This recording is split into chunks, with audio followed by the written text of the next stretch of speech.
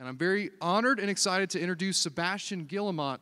Uh, from he's the CTO and co-founder of DC Spark. So, thank you guys.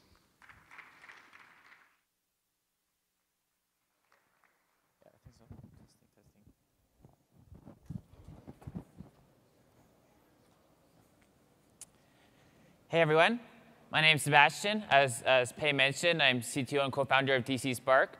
As well, I'm involved in the development of Flint Wallet, as well as Milk-Me EC on Stage, and more recently a new company called Paima Studios, which is building blockchain on-chain games for Cardano. So what is Milkomeda? You might have heard of this term because Milkomeda released on Cardano a while back. And you might have heard of this layer 2 topic, and you might be wondering, well, what is a layer 2, what is a sidechain, and how all these things work. And so I wanted to take some time today to talk to you about you know, what the, the work we're doing and what we have now and what we're hopefully going to be deploying in the future. So let's start by, you know, what is the difference between a, a blockchain, a sidechain, and a layer two? To make sure we're all on the same page. So you folks all know what a blockchain is. Uh, hopefully you've used Cardano, that's a blockchain. So what is a sidechain? What's the difference between a blockchain and a sidechain? A sidechain is the exact same thing as a blockchain, except philosophically, it's instead of trying to be its own project, it philosophically aligns with an existing project. So it's not really a technical difference, it's a philosophical difference. So for example, for Cardano, Milkomeda is a sidechain for Cardano. And the reason it's a sidechain is because we associate with the Cardano project for this deployment, and we don't have our own token. So the base asset for the Milkomeda sidechain for Cardano, which we call Milkomeda C1, is ADA. So you can go between these two chains and keep your ADA as is. You don't need to go buy or sell any tokens to, to use it. So if that's what a sidechain is, then, then what is a layer 2, right? So the difference between a sidechain and a layer 2 is that the sidechain gives you more flexibility, but less security. So one way I like to describe it is, is we can put everything on a spectrum. So on one side, there's maximum flexibility, but lowest security. And On the other side, it's maximum security, but lowest flexibility. So as I mentioned, sidechains is full flexibility. You can have whatever consensus algorithm you want. You can have whatever execution model you want. You can have whatever token you want, right? And on the other side of the spectrum is often what is called ZK rollups, where you have full security using mathematical proofs, but you have very low um, flexibility because now you need to write everything you, you want in ZK circuits, which are very hard to write, Oftentimes, you have to use a programming language that's not easy to write, such as Cairo. Oftentimes, you have a lot of difficulty doing upgrades. Like if you want to upgrade your ZK circuit, this is also a very difficult task. So it's not a very flexible system, but you get a lot of security to go with it. So there's something in between called optimistic rollups that you might have heard of that's less safe than ZK rollups, but more flexible. The reason why is because you don't have to have everything encoded as a ZK circuit. You don't have to use this you know, hardcore cryptography that's hard to upgrade. You can just use a concept called fraud proofs, which is you assume people are honest unless somebody does something incorrect, in which case you call them out and post a proof that they did something incorrect. So instead of having to prove the correctness of everything, so in the ZK world, you have to prove the correctness of, of every action. In the optimistic world case, you're just proving dishonesty whenever required. So you get you know, faster uh, performance, uh, more flexibility, but obviously less safety. So Milkomeda, our, our goal is to become a layer two. And what kind of layer two do we want to become? Well, we're actually trying to come up with a new kind of layer two that sits in between um, optimistic rollups and sidechains. And so we want more flexibility than optimistic rollups because we want to switch the virtual machine from Plutus to EVM. So it's a larger switch than typically you would have with an optimistic rollup. But we still want more security than a sidechain, because as I mentioned earlier, um, oftentimes um, the extra flexibility is not something that you need, and so we want the added security for our use case. And so you may have heard that recently we're deploying for Algorand, a layer 2 version of Milkomeda. And you might be wondering, well, wait, so if they're deploying a layer 2 for Algorand, where's the layer 2 for Cardano? And so I want to kind of uh, you know, describe you know, the difference between these two deployments so you understand you know, where Cardano's at, um, where we're at as a project, and then later on we can talk about you know, how we can close this gap and our kind of roadmap to get there. So how do we build a layer 2 like Milkomeda? you might, you, like, you've heard me talk about how this is safer. You might be wondering, well, well, how do we actually make it safer? Why is it safer? And so to talk about that, we need to kind of take a step back and talk about, you know, what is the core value proposition of blockchain? Why is a blockchain so useful? And you, intuitively, you might think like, well, a blockchain is useful because we can all agree on the correct state of data. You know, if you post a transaction to the Bitcoin, if it's a correct transaction, it gets on chain. If it's an incorrect transaction, it gets rejected by the node. So it's you know decentralized way of, of you know agreeing on the state of, of, of a machine. But that's not, actually quite accurate um, because although Bitcoin it is true that it only stores correct transactions, that was not a requirement. We could have made a version of Bitcoin that stores both correct transactions and incorrect transactions all in one giant blockchain, sometimes called a dirty ledger. And in this model, when you're synchronizing a blockchain, like if you're synchronizing the Bitcoin blockchain, you would be synchronizing all the transactions, including the incorrect ones, and your local machine would see the incorrect transactions and just know to ignore them. Right? So it's like, oh, correct transaction, correct transaction, oh, incorrect one, just ignore it and move on. Right? And if you have this kind of model, you still end up with the same Bitcoin blockchain that you know today. It's obviously there's data waste because these incorrect transactions just blow the blockchain, but it did not take away from the value of, of the Bitcoin blockchain and the fact that we all agreed on, on the resulting state. So if the value of a blockchain is not you know, agreeing on the correctness of transactions, then what is it? And something a lot of people have been talking about is something called data availability. And what is this? It, it means that we can make the data that represents the Bitcoin blockchain available to anybody. If you want to synchronize the Bitcoin blockchain, no matter where you are in the world, there's some way for you to connect and get that data and get it on your machine. Even if that transaction was posted 10 years ago, 14 years ago, you can still get the exact transaction now on your machine. And that's really surprising because if you know anything about Web 2, you know that a lot of data does not last. You know, oftentimes you post a picture or you find a picture and a few years later it's, it's, it's magically gone, disappeared from the hosting service or somebody closed a Twitter account. But the fact that we can have this data, have it available for everybody, have it avail available on a scale of decades is, is really quite the innovation, especially because it's all in a peer-to-peer -peer way. So when we talk about layer two, to bring it back to that, we kind of take this similar idea, which is, you know, we want to have, for example, EVM running on Cardano. Cardano does not have EVM support, so what do we do? We say, okay, we'll, instead of having the EVM on Cardano, represent the EVM state indirectly through, for example, transaction metadata. So imagine that you're a user and you want to interact with an EVM on Cardano. Instead of implementing the EVM in Plutus or implementing the EVM directly on the layer one, you instead just submit data that says, I'm a user of an EVM and I want to send some, trans some funds from this person to this person. You don't actually execute anything you just post this as transaction metadata, does not execute, just lives on the blockchain.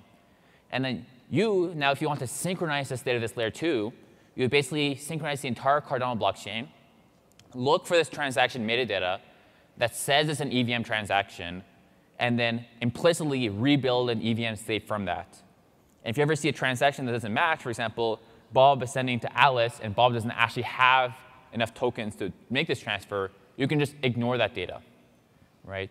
And so with this mechanism I just described, we basically use the fact that Cardano is a decentralized blockchain that we can have available, that we can download from anywhere in the world, and we can get the data from you know, many years ago and still have it available to our computer, and use this to basically build another machine on top of it, like the EVM. So now that we've described a layer two system and, and how, you know, more specifically, uh, roll-up, if you ever heard the term roll-up, this is the, this kind of um, system I just described, the kind of layer two I described. And now we know how rollup works. Well, why don't we do this on Cardano now? You know, why are there no rollups on Cardano now? And, and there's a few you know, technical problems. Obviously, um, the, from a technical perspective, that the challenge is a bit harder than I just described. Um, but there's also you know, kind of a unique problem to Cardano, which is that how do you post data to the Cardano blockchain? Right? So you know what, earlier I was saying, oh yeah, we just post the data, we post the transaction to the Cardano blockchain, post as transaction metadata, but you cannot just post megabytes of data to the Cardano blockchain, right? Cardano has very strict limits on transac- transaction metadata on transaction size, and transaction metadata cannot be accessed from smart contracts on Cardano. So the data that you post would not be able to be accessed by a smart contract if you said like, okay, let's do the kind of proof, like a fraud-proof setting I described earlier. You can't actually access data. Well, there's actually a, a, different way of posting data on Cardano that can be accessed from smart contracts called inline datums. And that was added in the Vasil hard fork that happened only very recently. Um, but this functionality is actually very expensive on Cardano. So if you want to add data as an inline datum, um, there's something in Cardano called the min UTXO requirement. You might have heard this, especially if you're familiar with NFTs. And this will make the cost of you know, adding this data to the Cardano blockchain uh, prohibitively expensive to build a layer 2 solution. So now you, you see that we have you know, these two ways of posting data on Cardano, but the limits on the amount of data you can post and the cost of the data that you can post on this chain um, is fairly limited. And that's why you don't see you know, kind of layer two solutions uh, thrive on Cardano as you can with other chains, such as, for example, Ethereum, which is, as you know, is, is significantly uh, philosophically more okay with posting large amounts of data to their chain, even if it means their blockchain you know, bloats up to a one terabyte in size, as it is you know, today. So obviously there's trade-offs to everything, right? If you take the Ethereum approach, obviously it's easier to build rollups, which is why you see so many rollup layer two solutions on Ethereum today. Uh, but the trade-offs is it means that if you want to try and synchronize an Ethereum full node today, um, you're going to be synchronizing your, your node for a very, very long time. So obviously it's a whole trade-off. Um, but the reason that the Ethereum ecosystem was okay with making that trade-off is because you know, posting raw data is obviously much cheaper than executing code, right? So if you've ever seen, you know, Ethereum gas problems where during a peak, uh, the gas cost would skyrocket, um, you know, this is mostly caused by smart contract usage. And so if they can take the smart contract usage, move that to a layer two, and then from a layer one perspective, you're just posting data, um, then this makes the chain, you know, much cheaper op operate, uh, especially the, under the assumption that storage is relatively cheap. So hopefully this kind of gives you an, an, idea of you know, layer two solutions and you know, why some blockchains have more layer two adoption than others. And also for Cardano, we'd like to eventually support layer twos as well. Um, but also we have to handle you know, these, these data requirements carefully to make sure that we maintain decentralization while also you know, enabling these new functionality that enable you know, more efficient execution than we might have otherwise. And so that's why, for example, for Milkomeda, we're uh, deploying for Algorand as well as Cardano, because for Algorand, they already have this technology required for layer two solutions. And for Cardano, we're obviously working on a very ambitious roadmap here as well. Um, and we're hoping that as Cardano continues to advance and more features added to Cardano, um, that we can eventually you know, add all the features that, that we want to build a full layer two system. But one advantage that we have of having a sidechain on Cardano instead of a layer two is that a layer two, if you think about it, it inherits the properties of layer one. As I mentioned earlier, we're posting data to the layer one, and that's how you're advancing the state, this implicit state of this virtual machine. And so if the Cardano block time is 20 seconds, and if the finality on Cardano is probabilistic, that means that your layer two also has block times of 20 seconds, also has probabilistic finality, and this is not necessarily desirable, right? You might want a system that you know is compatible with Cardano, somehow connects to Cardano, uh, but has you know different properties for finality or perhaps different properties for block times. And so the fact that Milkomeda for Cardano is a sidechain means that we were able to get it to a block time of four seconds with instant finality, which is obviously a different um, you know, set of properties from the Cardano main chain. So sidechains definitely still have their advantages, and they will never go away because um, the flexibility allows you to have you know, different trade-offs um, for different situations. And that's why, for example, Mamba, the system that IOHK is creating, is like a sidechain SDK for Cardano, that way people who need different sidechains with different properties for different use, use cases can easily you know, spin up sidechains to meet those requirements. And so you know, hopefully it gives you an idea as to why we're doing sidechains and layer twos and kind of parallel as an industry. You see many you know, successful sidechain projects and many successful layer twos, and these are not necessarily replacements uh, one for another, but rather you know, two different technologies um, that you know, have their different trade-offs. So hopefully that gives you an idea of you know, overall the big picture, what we're trying to solve, where we're at in Cardano, why we're taking the approach that we have. And I wanted to take the last few minutes to just talk about some of the upcoming stuff in our roadmap. So obviously, is, is doing pretty good uh, overall. We're about 10% of Cardano's TVL at the moment. Um, so you know, there's a good amount of adoption of, of the system. Um, but obviously, you can always build more. You can always build uh, better stuff, cooler stuff. And so um, some of the stuff that we're working on is uh, one, we're working on wrapped smart contracts. So you might have heard this from uh, you know, our original roadmap, but you know, one thing that we want to add for developers in Cardano is the ability to call EVM smart contracts from the Cardano mainnet. The reason we want to do this is because a user of Cardano ideally should not need to even know that they're using uh, EVM, right? If you have to like take your ADA, send it to Milkomeda, use a smart contract there, move your ADA back, this is you know quite a lot of user friction. And for a lot of applications on Cardano, they don't necessarily want EVM for their entire application. They may have a Plutus app that supports a wide set of features, but there's some specific functionality that they need that already exists on EVM, and they want to just leverage this existing solution, or maybe this is easier on EVM, so they want to leverage an existing solution. So they want to have an entire app that's all in Plutus, except for one specific part, you know, that leverages Milkomeda. And to do this, we want to basically have this concept of wrapped smart contracts. So as a developer, you can have your app all work in Plutus, and then this one button, when the user presses it, instead of making a Plutus transaction, uh, the user, from the user perspective, it looks like a Plutus transaction, but what actually it does is it takes the Plutus transaction, creates a message, passes that to Milkomeda, executes the transaction on Milkomeda, takes the results, and brings it back to Cardano. So from a user perspective, user perspective, it'll feel a bit slower because obviously it has more steps for their transaction, um, but it doesn't feel like you left the you know, Cardano universe, and that's really a much smoother user experience, and will hopefully help you know, developers you know, mix and match different programming languages where they need. So that's one of the cool things that we're working on. And the other thing that we're working on is liquid staking for Milkomeda, which will allow you to keep earning your staking reward while using Milkomeda. So if you ever use Milkomeda, you might have noticed that one of the issues is that you lose your staking rewards when you move to the sidechain.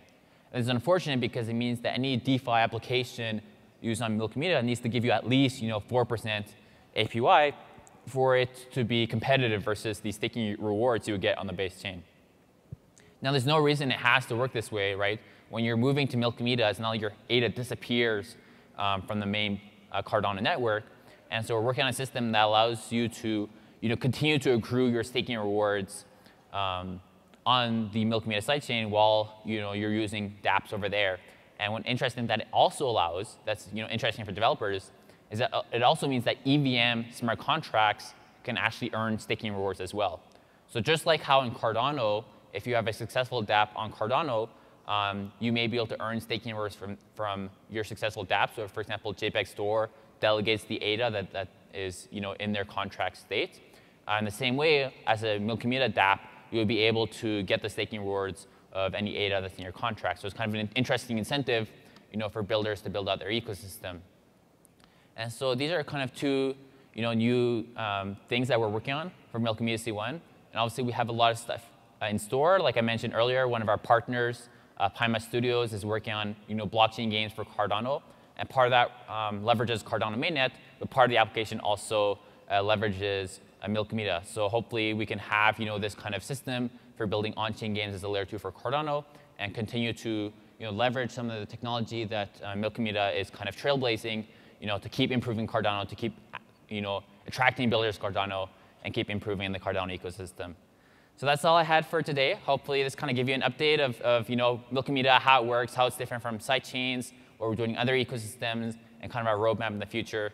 And so I thank you for your time. And if you have any questions, we have a DC Spark booth at the event, so you can check out our booth and ask any questions. Or if you see me walking around, definitely uh, just let me know and, and ask any questions you have. Thank you.